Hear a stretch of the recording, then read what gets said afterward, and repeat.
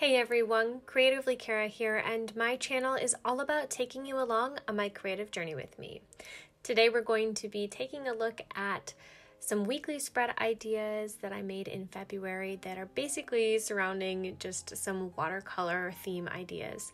I just used some Tombow markers and water, and honestly, that's how I got a lot of my watercolor with this one. I used a few different techniques for each weekly setup, so I'll just kind of explain them as we go.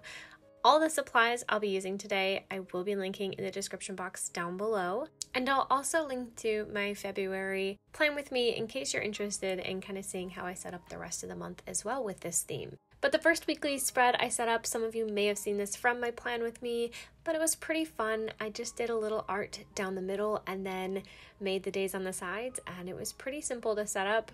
I measure my stuff out using this line spacing guide, and it's kind of inspired from a few different bullet journalers. I think I first really saw it from Amanda Rachel Lee, but I've seen it from a few others as well. It really helps when creating your spreads because then you have something to help kind of guide you and you don't have to count every time or do the math every time because I'm a person that does not like doing math. Let's be real here. Anyways, this is a different technique. The first technique I used on the weekly spread was with a, a, plastic bag and then I like drew the color on that and used water to spread the color on the paper. This time around I decided to do just draw some purple and pink on the paper and then I used my aqua brush to add in some water and spread that around.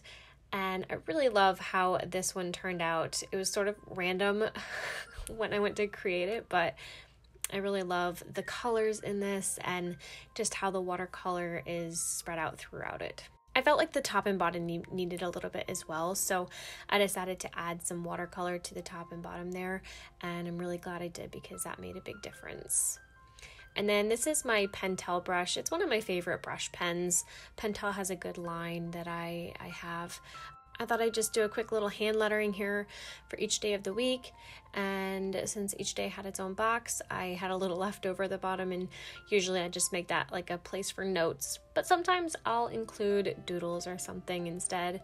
Right now, I track all of my habits and mood monthly so I don't have any trackers or anything that I really include weekly. I'm considering changing that up a little bit soon just to try something new, but it's kind of hard because once you find something that works for you when you bullet journal, it's kind of like why change it? But i'm a person who likes change too because um, you know maybe what you're using is working for you but maybe there's something that's better out there. I don't know. You won't know until you try back to the plastic bag technique and I decided that I wanted to do some watercolor coming from the top down with a vertical spread. Honestly, vertical spreads aren't like my favorite, but I just have these moods where all of a sudden I really want to do one because sometimes your theme or whatever's in your head just works really well as a vertical layout. So I'll do one every now and then, but let me know in the comments below what your preference is for a weekly spread.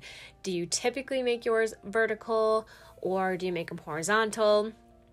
Or are yours just kind of random? I mean, sometimes you I, I've seen some bullet journalers just like be like, all right, Monday's gonna be up in this corner, Tuesday's over here, Wednesday's over here, so it's kind of just sporadic and not really any um, specific organization to it, which I think is completely fine as well if that is what your preference is.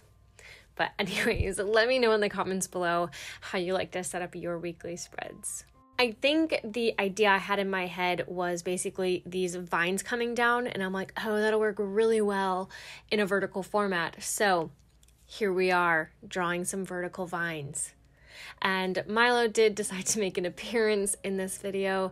He's in a couple other of the weekly spreads as well, but I just hit my two year anniversary mark on YouTube. Yay! So I created a video of a compilation of Milo interrupting me while I bullet journal or while I'm being creative. Um, so if you have not checked that out, I highly recommend you do. It's got some good laughs in it. I will link to it in the description box down below and also in the cards. I did measure this out, but for some reason, that first vine on the the right page I made too far out.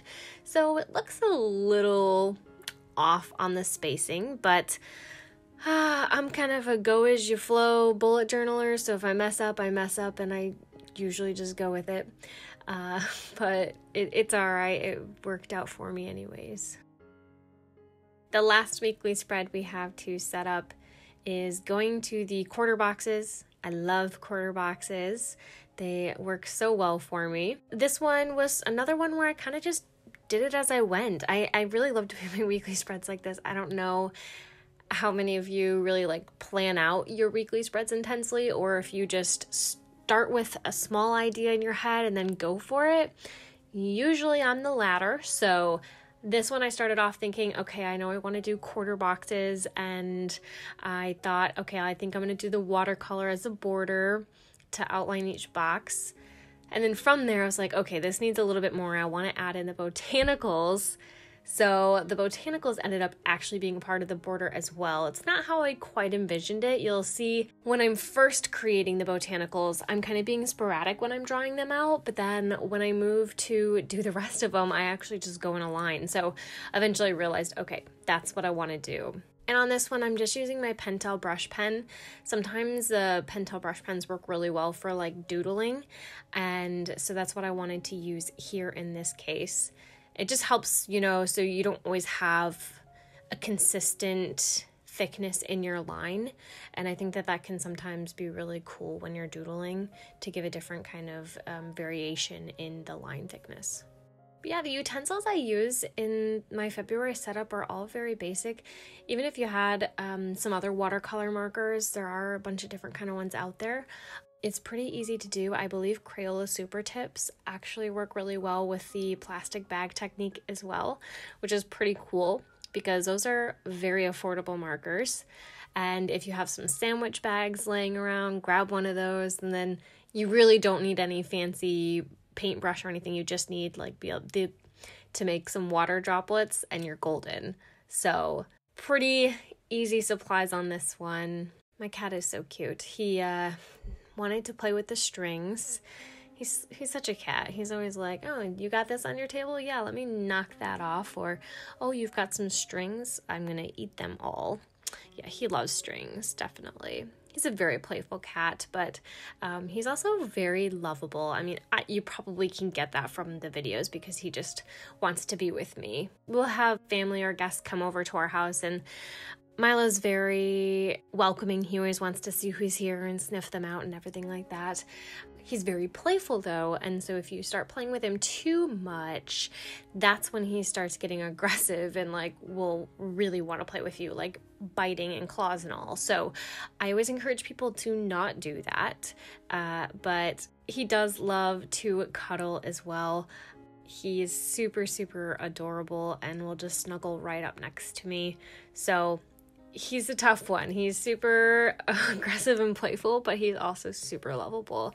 So I'm glad that he's kind of got both sides to him. I'm just using I had that little corner on the top and I thought I wanted to add a little something there. I wasn't quite sure what I was going to do, but I knew I wanted to use that plastic bag watercolor technique. And then with that, I wanted to include a quote as well.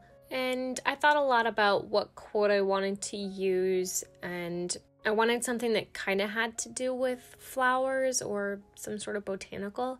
So the one I chose was Even the tiniest of flowers can have the toughest roots. I tried to do some varying in fonts, so I just kind of did all caps and then lowercase, but then also included some faux calligraphy here. I'm still working on my style, but I have fun just playing around with things. That is all I have for you today. I hope you enjoyed what you saw. If you did, make sure you hit that like button down below. And if you haven't already, make sure you hit that subscribe button as well. Until next time, bye bye.